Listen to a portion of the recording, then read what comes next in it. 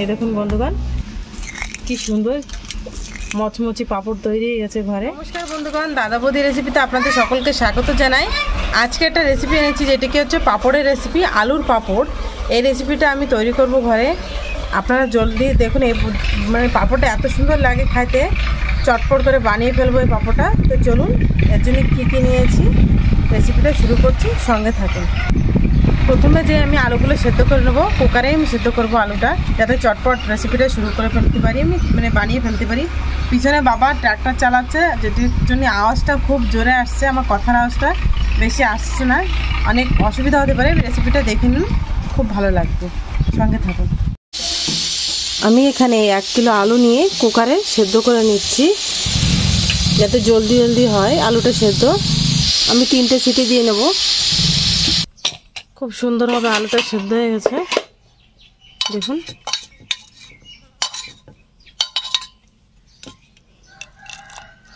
আলুগুলো গামলায় বের করে নেব আমি। নামানোর পর্যায়ে আমি এটিকে ঠান্ডা জলে দিয়ে ছুলে নেব আলুটা। আলুগুলো আমি ছুলে নিয়েছি, দেখুন, ভালোভাবে ছুলে নিয়েছি। আলুগুলো এত সেদ্ধ হয়ে গেছে যেটি কি আমার এতে আর বাটা লাগবে না বা কিসনি দিয়ে কুচনিও লাগবে না। আমি এর আগেও কিসনি দিয়ে কুচিয়েছিলাম।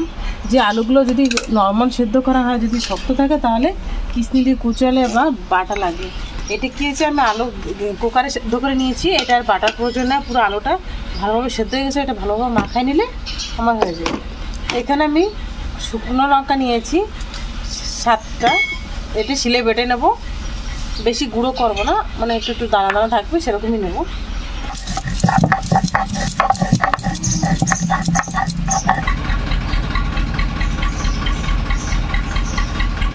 চলে এসেছি ছাদে। পাঁপড়টা দেওয়ার জন্য কি কি উপকরণ নিয়েছি? প্রথমত এক কেজি আলু আমি এখানে সেদ্ধ করে নিয়েছি ভালোভাবে। আর নিয়েছি দেখুন, লবণ নিয়েছি এখানে। লঙ্কা বেটে নিয়েছি মানে দানা দানা থাকবে যেটা কি? জিরে নিয়েছি, গোটা জিরে, রিফাইন তেল নিয়েছি আর হিং নিয়েছি সঙ্গে। এতটুকু লাগবে আমাদের উপকরণ। আর পাঁপড়টা দেওয়ার জন্য আমি এখানে জরি ফেলে রেখেছি, আর একটা সঙ্গে জরি নিয়েছি, দুটো থালা নিয়ে এসেছি। এতটুকুই সামান লাগবে পাঁপড়ের জন্য। এই যে আমি নিয়েছি কী কী উপকরণ দিয়ে দেবো? লবণ প্রথমে। অল্প পরিমাণে লবণ দিতে হবে, যেটি কি পাঁপড় শুকিয়ে গেলে লবণের ভাগটা বেশি আসে। দিয়ে দেবো লঙ্কা বেটে রাখা। হিং নিয়েছি, হিংটা দিয়ে দেবো। গোটা জিরে নিয়েছি। গোটা জিরেটা দিয়ে দেবো। দিয়ে দেবো সঙ্গে অল্প পরিমাণে রিফাইন তেল। আপনারা এখানে সরষের তেলও ব্যবহার করতে পারেন। আমি রিফাইন তেলটা দিয়ে করব পাঁপড়টা। এখন ভালোভাবে এটা মাখিয়ে নেব আমি। হাতের সাহায্যে মাখিয়ে নেব।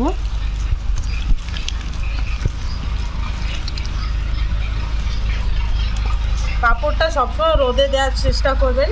কারণ যেদিন রোদ, মেঘলা থাকলে পাঁপড়টা ভালো হবে না। যেদিন দেখবেন রোদ আছে, সেদিনই পাঁপড়টা দেবেন।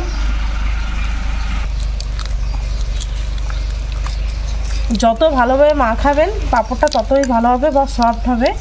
যে দানা দানা থাকলে এগুলো কিন্তু ভালো হবে না, আলুর যে দানাগুলো। এই দেখুন, এই দানা থাকলে কিন্তু ভালো হবে না, পুরো ভালোভাবে মাখিয়ে নেব নি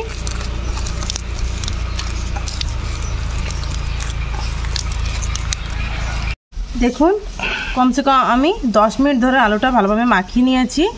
এখন হাতে অল্প একটু তেল লাগিয়ে নেব।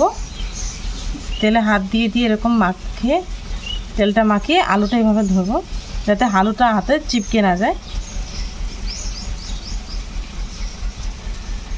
এরকম সাইজে আমি পাঁপড় দেবো। এরকমই একটা একটা ডো তৈরি করে নেব।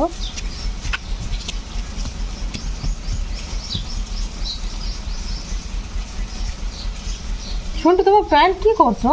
জড়িটা নিয়েছি, পাঁপড় দেওয়ার জন্য। সেই জড়িটা একটু তেল মাখিয়ে নেব। এই পাশে একটু মাখিয়ে দেবো। যাতে পাঁপড়টা ভালোভাবে ছাড়িয়ে যায় জরি থেকে।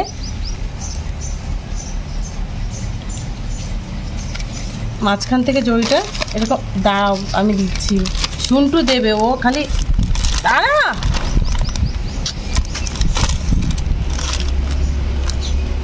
একটা থালা দেবো, থালা দিয়ে।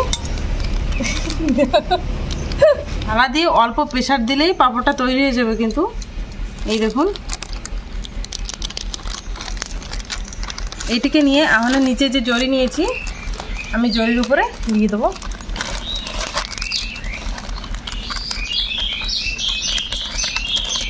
হালকা এই পাশ থেকে ছেড়ে দেবো। ছাড়িয়ে নেব যেটিকে।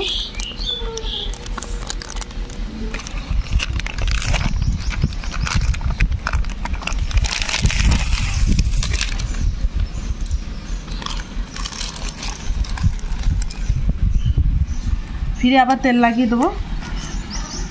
জড়িতে।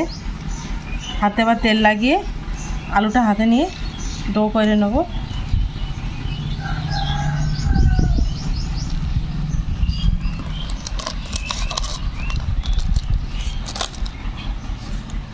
বেশি চাপ দেওয়া লাগে না, হালকা জাস্ট চাপ দিয়ে হালকা।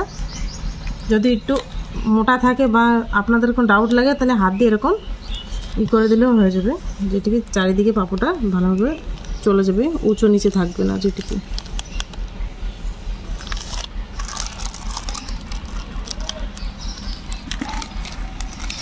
এইভাবে আমি সব পাপড়গুলো তৈরি করে নেব।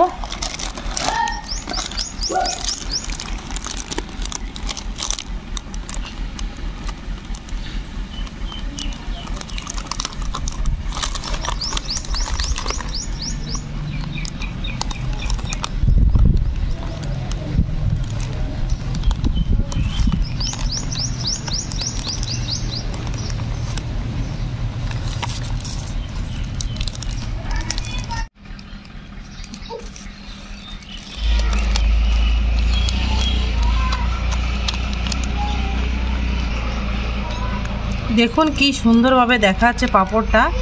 জিরে যেটে গোটা জিরে, লঙ্কা। কত সুন্দর দেখাচ্ছে পাঁপড়টা। আমি এই জড়িটাই পাঁপড়টা দিচ্ছি আপনারা চাইলে এই নিচের জড়িটা যদি না থাকে, কোনো সাদা কাপড়ে পাঁপড়টা দিয়ে নিতে পারেন। কারণ যদি কাপড়ই দেন না, তাহলে ওই মানে কাপড় একদিন পরে পাঁপড়টা উঠানোর আগে মানে একটু হালকা পিছন পাশ জল ছিটে মেরে দেবেন। তাহলে পাপড়টা আরামসে ছুটে যাবে মানে কাপড় থেকে যেটুকু আমি জড়ি, রয়েছে বলে জড়িতে দিচ্ছি, জড়িতেও চিপকে মানে বিলকুল চেপ মানে লাগবে না পুরো নেওয়া উঠে যাবে পাপড়টা। কাপড় চাপ দাও একটু। হুম।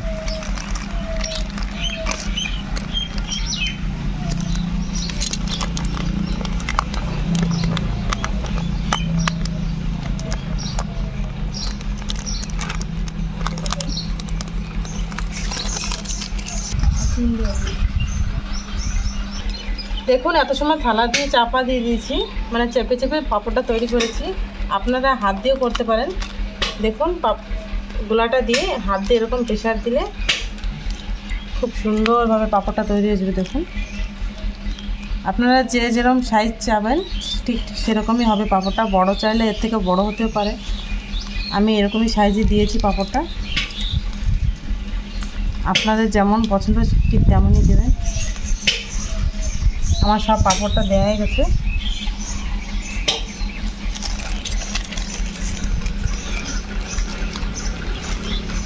যারা একা থাকেন, তারা এরম অল্প অল্প আলু দিয়ে আলু সিদ্ধ করে পাঁপড়টা তৈরি করে নিতে পারেন।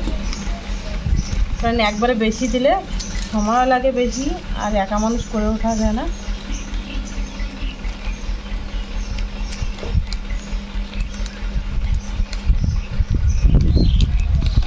সব পাঁপড় দেওয়া গেছে আমার। এখন এটাকে দুদিন ধরে শুকাতে হবে পাঁপড়টা দুদিন লাগবে পুরো শুকাতে। মানে বিকেল হতে হতে পাঁপড়টা ছাড়িয়ে যাবে বীজ থেকে। কালকে যেয়ে পুরো পাঁপড়টা ভালোভাবে শুকিয়ে যাবে। আপনাদেরকে শুকানোর পরে দেখাচ্ছি। আমি চারি সাইডটা চাপা দেবো যাতে হাওয়া আসলে কাপড়টা মানে জড়িটা উল্টে না যায়। দেখুন, পাশ থেকে কিছু কিছু দিয়ে চাপা দেবো পাথর মতো দিয়ে। দেখুন বন্ধুগণ, পাঁপড়টা পুরো শুকিয়ে গেছে, দুদিন ধরে শুকিয়েছি। দেখুন, নিয়ে এসেছি পাঁপড়গুলো। দেখুন একটা কত সুন্দর হয়েছে, দেখতেও খুব সুন্দর হয়েছে। কি সুন্দর দেখাচ্ছে। এখন এটাকে খালি তেলে ভাজারই অপেক্ষা। তারপরে তো খাওয়ার পালে। পাঁপড় কিন্তু ডাল ভাত। আপনারা শুনতে আমার কাছে চাচ্ছে পাঁপড়। ফটাফট যে ভেজে দেবো, দেখুন। পাঁপড়টা যে জিরে লঙ্কাগুলো বিচি কি সুন্দর দেখাচ্ছে।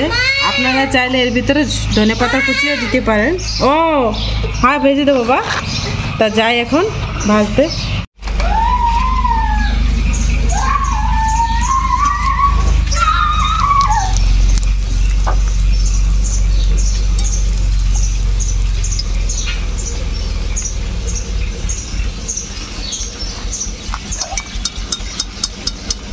দেখুন কি সুন্দরভাবে পাপড়টা তৈরি হয়ে গেছে। শুনটেও চলে আসছে।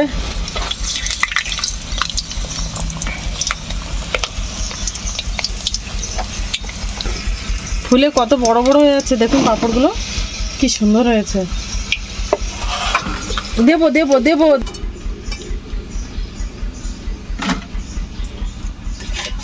দেখুন বন্ধুগণ, পাপড়টা কি সুন্দর দেখাচ্ছে কালারটা খেতেও দেখে খেতে ইচ্ছা করছে। এত সুন্দর হয়েছে। বাড়িতে অবশ্যই বানিয়ে খাবেন। আর যদি এই রেসিপিটা ভালো লাগে, তবে লাইক করবেন বন্ধু বান্ধবের কাছে শেয়ার করবেন। আর নিত্য নতুন রেসিপি পাওয়ার জন্য আমার চ্যানেলটাকে সাবস্ক্রাইব করবেন। আমাদের সঙ্গে সময় দেওয়ার জন্য অনেক অনেক ধন্যবাদ। আপনাদেরকে একটা ভাঙিয়ে, ভেঙে দেখাচ্ছি, দেখুন। খুব গরম রয়েছে পাঁপড়টা এখনও। এই দেখুন। গরম কি? প্রচণ্ড গরম। এই দেখুন বন্ধুগণ, কি সুন্দর মচমচি পাপড় তৈরি হয়ে গেছে ঘরে। আপনারা এটা টিফিন সকালে চার সাথে কিংবা ডাল ভাতের সাথে এটা পরিবেশন করতে পারবেন।